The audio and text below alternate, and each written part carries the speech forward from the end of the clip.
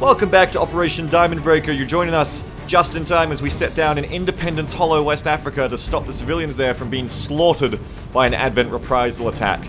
Time is of the essence. Let's get on the ground and kill us some hybrids and or alien masters.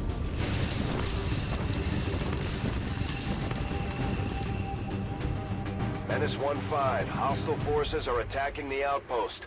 Eliminate all enemy units and protect those civilians. Advent came in hot and so did we. You won't have a concealed position for deployment on this one. No. No, we will not have a concealed position for this one, which is, trust me, not lost on me and it is quite annoying. Uh, take position here. Oh, no, you can't get there, okay. Uh, smash, take position up here. Heading out. Contact straight off the bat. That is a berserker. I know that health bar. Of those berserkers. They can't do much from range, but they're lethal up close. Yeah, and that thing is gonna be up close. Okay, these guys we can worry about later. Berserker needs to die first. Oh dear. I think what we might want to do... Oh, you can go for a, a skull mine. I think what we might want to do for maximum effectiveness here is pull some Overwatch tricks. Oh wait, Berserkers aren't like the old Berserkers. Unlike the Berserkers from Enemy Within, these guys will not come at you every time you shoot them, so we can't... I just immediately went back to my Enemy Within Long War strat of set up Opportunist Overwatch and bait them into getting shot a bunch of times. Actually won't work in this case, I just realized. Good thing I didn't do that. Okay, instead, we just gotta shoot the bastard. so, we're gonna leave Smash up till last because she has the Mimic Beacon and worst case, hopefully we can, you know, keep it away with that. Uh, but what can we do? We need to move up and engage this thing with Apone. We need to get holo targeting on it with Kilroy. So gonna move Kilroy to the side. I'm trusting you here. Kilroy is gonna apply holo targeting to this threat. Boom. Please hit. Excellent. God, they're scary. Now, this giant creature does not get a free move at you uh, every time you shoot it. Instead, it just tends to shake the camera around, apparently. Um, I think that's a bug. We're just gonna act like whoever's holding the camera is really scared of the Berserker. Uh, basically, it just gives them more mobility, I believe. So it's similar but different. You can't abuse it for multiple, like, um... God, you're just like a big piece of meat. You can't abuse it to lead them into Overwatch base during your turn anymore, and instead it just makes them stack mobility, which means they can come and fuck you if you don't kill them. So it's a similar outcome, just a different method. Now we're gonna move up. Oh god, the shakiness. I'm gonna have to reload. this shakiness is getting to me. I take a shot. That is just what we needed. Big damage. And that health bar was pretty scary. There's that enrage, but we're taking it down. Oh god, I'm starting to feel sick. I'm getting dizzy. Whoa. Ugh. Heading out. Let me kill the Berserker first, at least. Okay, that's... That's dead. Oh, give me a grenade. My head! Let's move already. Kill this pod, maybe it'll go away. Grenade these two jerks. Oh, it's even moving my grenade indicator around. Pop. Goes the weasels. Ah, we fixed it. Nice. Oh, that guy just died. Jesus. That guy's just straight up dead. Well, I was going to use uh, face-off to kill them all at once, but that's not even necessary now. We can just kill them anyway. So we'll just go... Yeah, yeah, yeah, yeah, yeah, hang on. Bone Daddy can move up. Let's move already. You know, Bone Daddy might have better aim than Jamble, I think, because I gave him the better PCS. He's got 99 aim. 99 flat aim. I wonder if that's because of the plus 10 aim he gets from the Guerrilla School talent. Then we've got 15 off the scope, plus 5 off range. Well, Jamble doesn't get the benefit of a scope either. Jamble's base aim is 101. She's got better aim, she just doesn't get the scope. That's the difference. So we'll shoot with our pistol.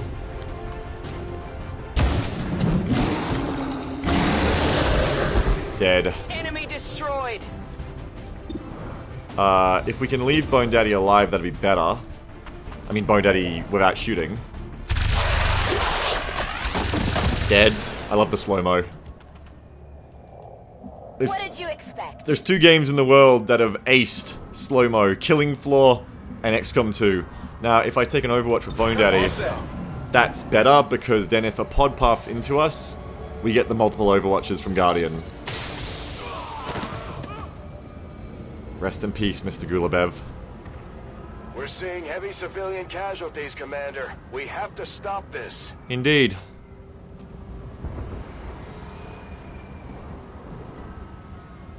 Alright. I hear someone climbing up a ladder. Probably over on that building on the side. Not a lot of cover to move to because I blew it all up, unfortunately. Whoopsie daisy, my bad. We don't want to move out of no cover with Smash, especially because we really kind of need her to throw the Mimic Beacon if shit goes wrong. Hit it there now. So instead we might move up with Apone, use him as the scout. Alright, he says it's clear we can move up with other people. So we move up with, uh, who next? Maybe Jam? Will do. Catch up with the Grenadiers. Go, go, go. Affirmative. Good to go. On my way. Perfect, well done. Good movement, limited risk. Scan. Okay. That pod's real close. We'll engage them next turn. Obviously, they're close enough to be... They're obviously right in this tree line, close enough to engage these civilians and make that one run. Civilians tend to only run, I think, when they've been, you know, sighted. Or are in range of an enemy. Okay, sectoid. Ah, it's the dominatrix pod. My favorite pod. Okay, grenade would be good on these guys.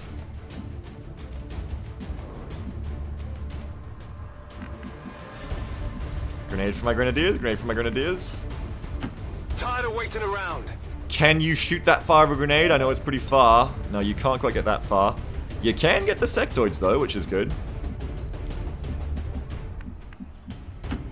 If you say so.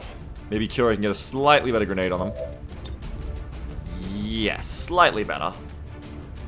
This is for you. This is for you.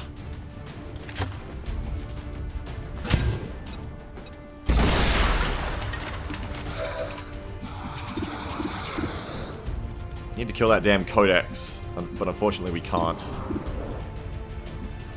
Alright, chill. Now Jamble can Lightning Hands one. Could also potentially take a Sniper Rifle shot, but that won't do much. Okay, so we can pull a Lightning Hands with Jamble.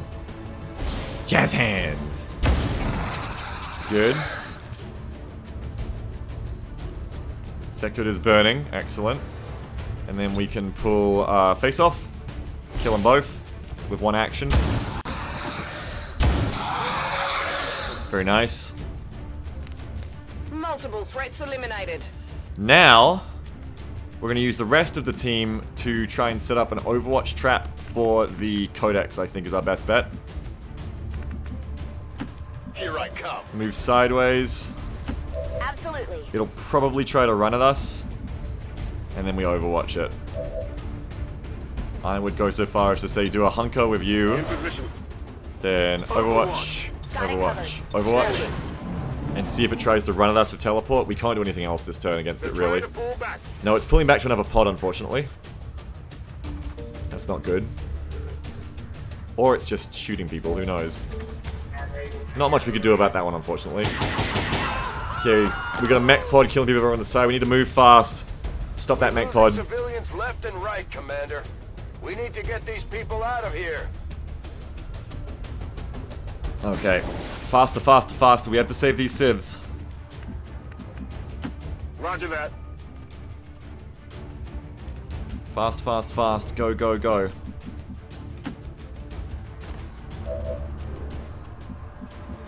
Jamble can move to. Oh god, it's a faceless!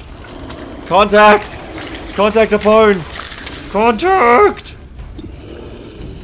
We can take it out though, it's okay. But for real, it's okay. We can take it out. I guess that'll be okay. Apply some holo targeting of Kilroy. And some damage. Ah, and now that's an easy finish with whoever we want to finish it with. So Jamble! Jamble can just roll up and finish it. Roger that.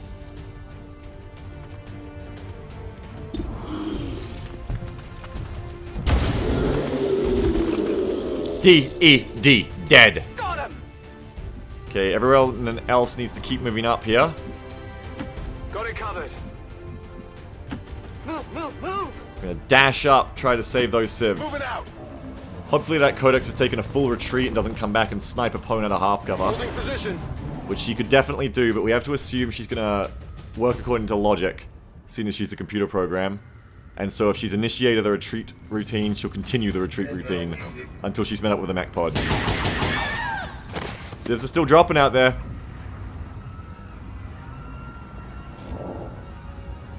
Gonna keep moving towards that pod. Heading out.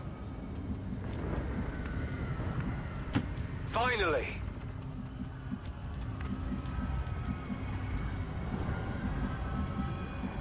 Can you uh, shoot through here if I move you to this position?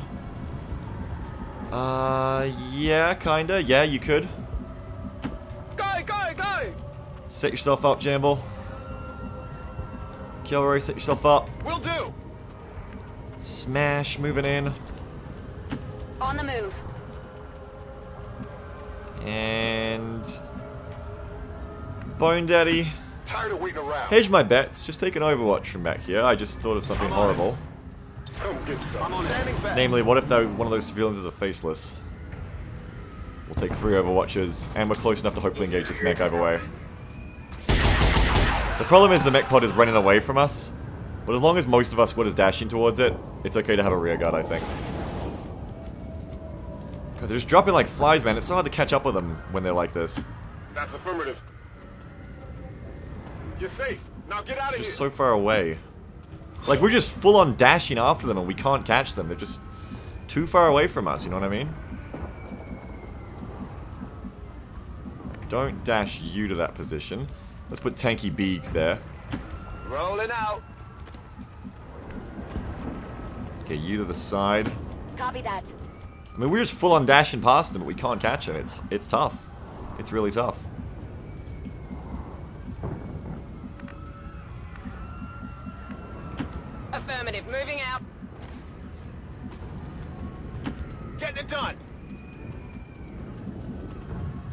Again, Bonehead is going to continue to pull this. Overwatch from the rear.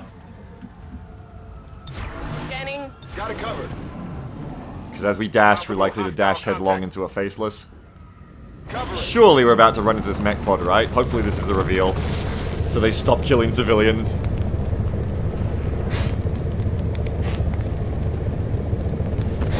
Got some Advent Here we go. Oh god, Berserker.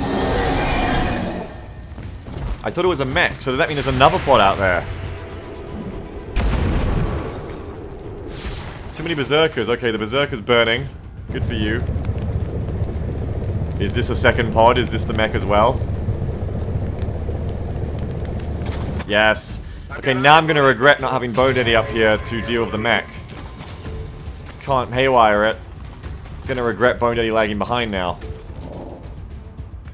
Unfortunate.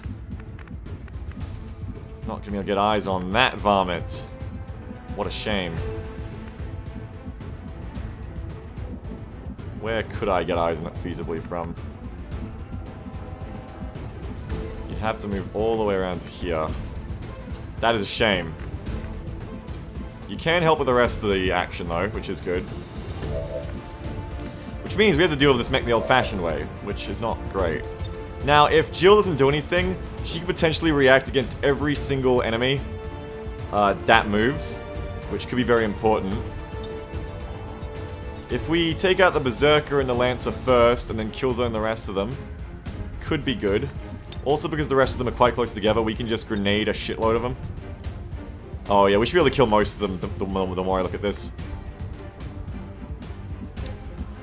So, if we start off by having Kilroy move to the side here, so as not to get flanked by the mech if it stays Okay, I'll alive. go.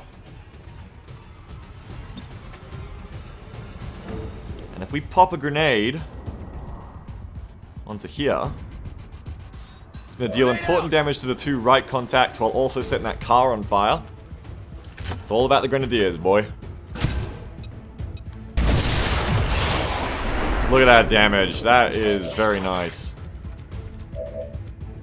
Jamble can also potentially do a lot of work here. If I move her up. Anywhere else you can move to, Jamble? I mean, Jamble can potentially kill everyone if I put her in the right spot. I just want to put her next to the car because it's burning. If we move Jill and grenade of her instead and I take Jill's spot. One, two, three, four. Can't see the mech, interestingly enough. I think we'll need to move Jill and shred or engage the mech. Heading out. Move Jamble up to this position. I'm on the move. Biggs is obviously going to pull another grenade trick. I mean, I can just grenade all of them too. If I pull a grenade over onto this mech... kind of want to pull it on the back though. And we got to deal with the Berserker as well. So face-off is less strictly necessary, honestly. Because I'm more concerned about the Berserker right now.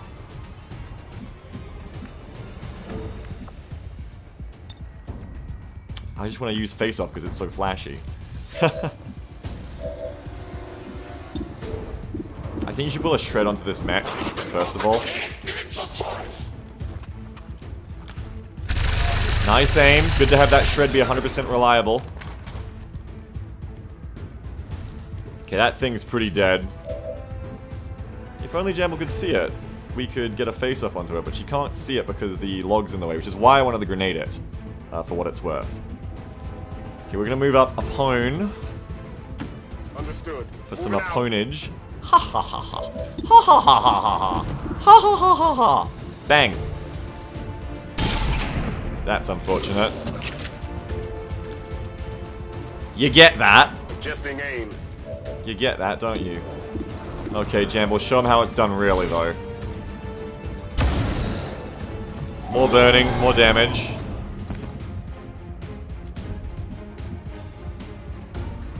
And then I suppose you can start giving him the business.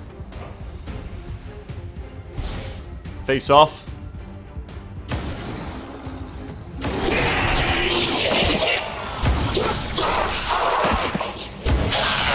God, that's cool.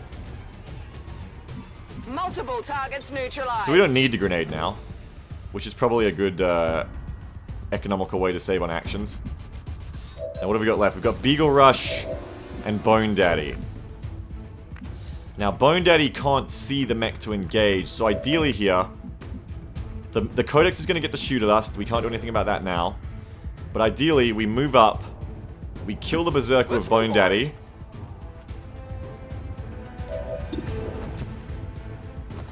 Hundred percent, I love it. There's no failing when you got hundred percent. He's gonna burn the death, or she's gonna burn the death, I should say. Now we just have to kill the mech, and it's mission complete. Well, apart from the faceless, of course. Ah, sorry, the codex. Okay. Seem to move to here. Here I come. If the Berserker doesn't burn the death, I'll take the damage on the chin. How's that for leadership? Okay, 77% to kill the mech.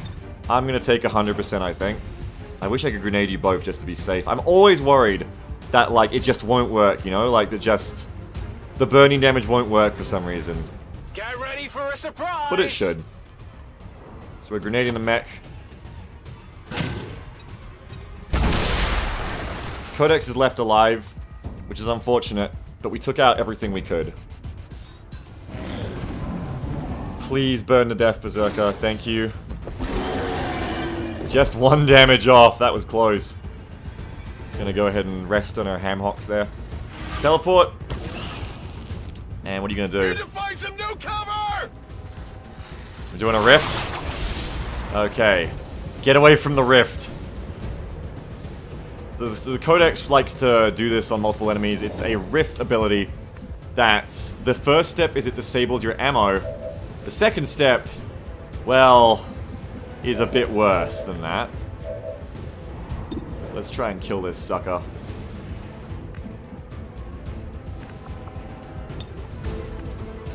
You don't want to be around when it goes off, let's just say that much. Okay, so why don't you go get a slash on this varmint. She took out your ammo, so take out her life. We should get a holo target on that too. Where is Kilroy? There's Kilroy. I don't want to get any closer to that rift just in case it goes off and I get owned. So instead I'm going to run up.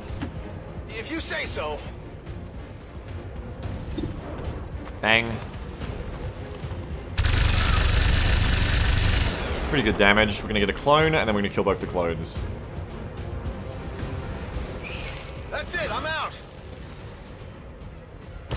Okay, one clone, two clone. Cyclone. Easy peasy. You move up. Let's move already. You come and handle her. I don't need no ammo, bitch. I got a cyber blade for your cyber body. Okay, now Target disabled. I don't need no goddamn grenade, you hoe. Grenade out! Look at a psychic cape that shows up in the grenade targeting screen. It's interesting.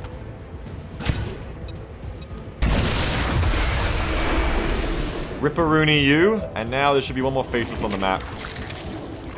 Oh, I had a feeling it was maybe this tower person. Bring it down. Bring the tower down. Because it looks dramatic as fuck. Bring down the deer stand.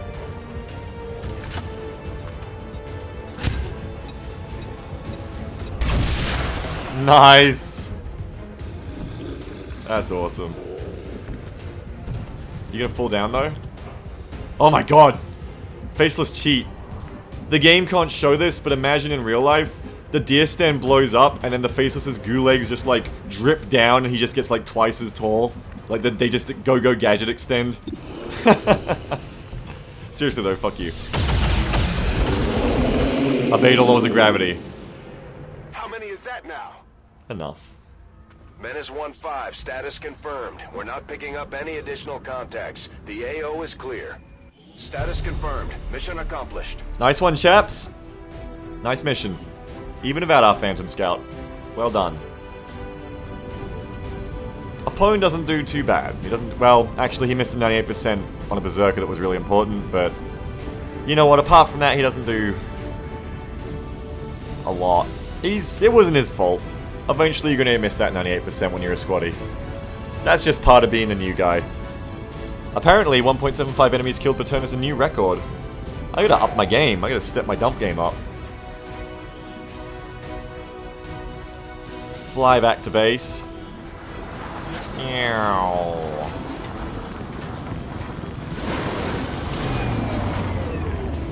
Let's hope they all go that smooth, Commander. Great work. Loads of promotions. So that's gonna put Jill Smash Martin uh, here again. Uh, holo targeting does not stack. Um, but hmm. See, here's the thing.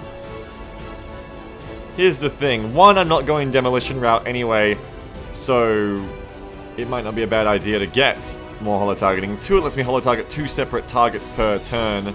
Three, even though it doesn't stack, I'm pretty sure Killzone works with holo targeting because I know that says holo targeting does not work with multiple cannon abilities like, you know, the one that lets you shoot an entire bunch of people at once. But here's the thing, I'm pretty sure Killzone just makes her react against every single enemy, and I think holo targeting is then applied to every single enemy, which would be an incredibly strong combo. If not, you know, I still like that build. And a Apone, I think a Apone will keep that in case we ever need you to replace Suarez for Phantom again, but one day you may become a Blade Master for funsies. Alright, not bad. Finally, I got some corpses. Not nearly enough, though. Troopers are so rare now. I'm actually not going to be able to build advanced armor because I don't have enough trooper corpses because they're just never on fucking missions anymore. I wish I'd known that it was important to have like 24 trooper corpses. Say la vie. Berserker Autopsy. Nice, nice. You and your crew have dealt another serious blow to the aliens' efforts today, Commander. Impressive work. Commander? We just need some goddamn It's been troopers. slow going, but I've made headway interfacing our equipment with the alien technology still embedded throughout the... Furies, alien alloys. We don't have time for that, man. As soon as what's her face is ready, we're going on the. Uh... Well, if it resets, I should let it go down to like 10, really.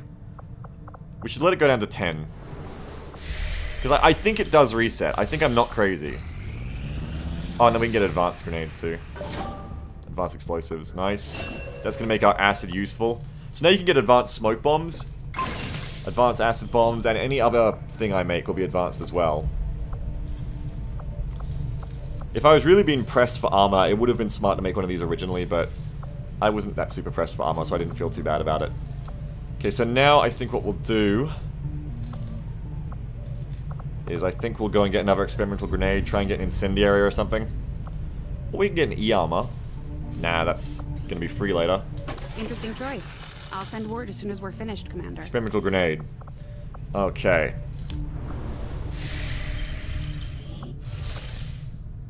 Um, she is back now, right? We'll let it tick down to 10. Okay. Uh, now we can go ahead and do this mission, I think. I think it's time.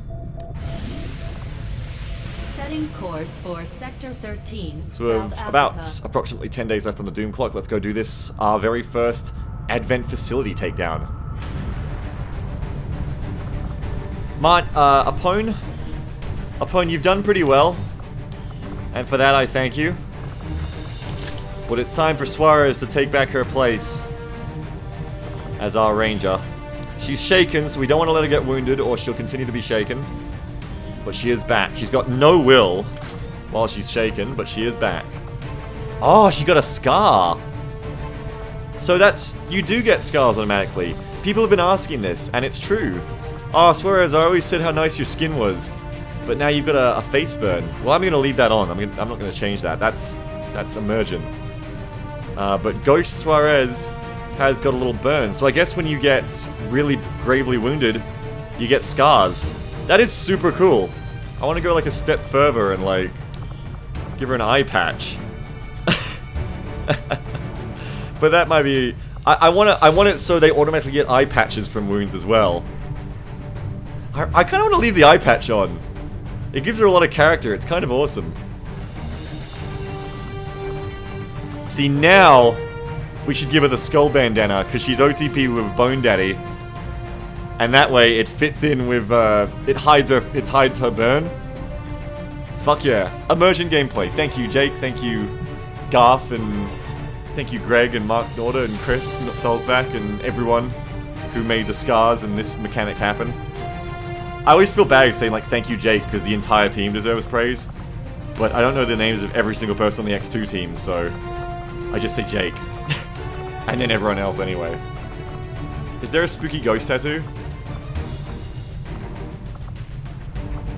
You should get the same tattoo uh, Bone Daddy has. You guys should match. There, I like that. I'm gonna give her like some, some arm, some some long long glove tattoos. I mean, sure, it's a tattoo thing, but I like to think they're like a long long arm sleeve. Give her some white ghost sleeves. Maybe I'm a nerd. I mean, I'm definitely a nerd, but I really enjoy the simple pleasure of color coding my squad for the missions they go into, giving them the right kind of camouflage. It's a simple pleasure, but it's one I truly enjoy.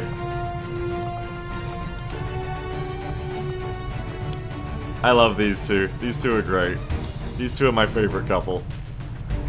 Yeah, let me check something real quick though. Now that we've got mages, we can probably buy new... I should have checked the Guerrilla School. New stuff. Yes, I needed to get this way before. Explosives can inflict critical damage. Yes, please.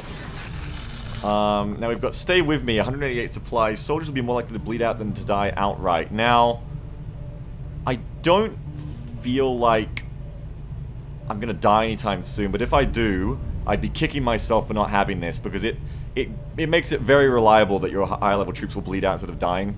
So I should take this, um, and then I mean I'm not super pressed for money right now anyway, so it's okay. So we'll get stay with me. We'll also get Deadshot, because we're going to get that eventually at some point anyway. Uh, and then that should be all we need. Okay, so now I'll go ahead and put the Acid Bomb, now that it's up to scratch. Good damage uh, and great shred in my uh, double grenade slot. Because I've got heavy ordnance, I get two grenades with, in my dedicated grenade slot, so I get two acid bombs. So anything we meet with lots of armor, I'm just gonna. I'm just excuse me while I profusely swear. I'm gonna fuck it up. I'm gonna fuck anything I meet up that has armor with these acid bombs, plus deal dot damage. The only downside is these do not destroy cover. That's the only real downside. Suarez, uh, now that you're back, you can get your Talon rounds back as well.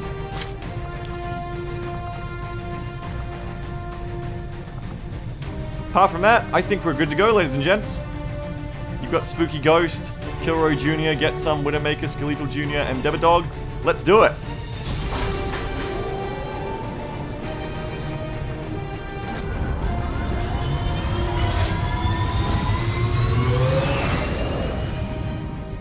Sky Ranger deployed. In position to drop.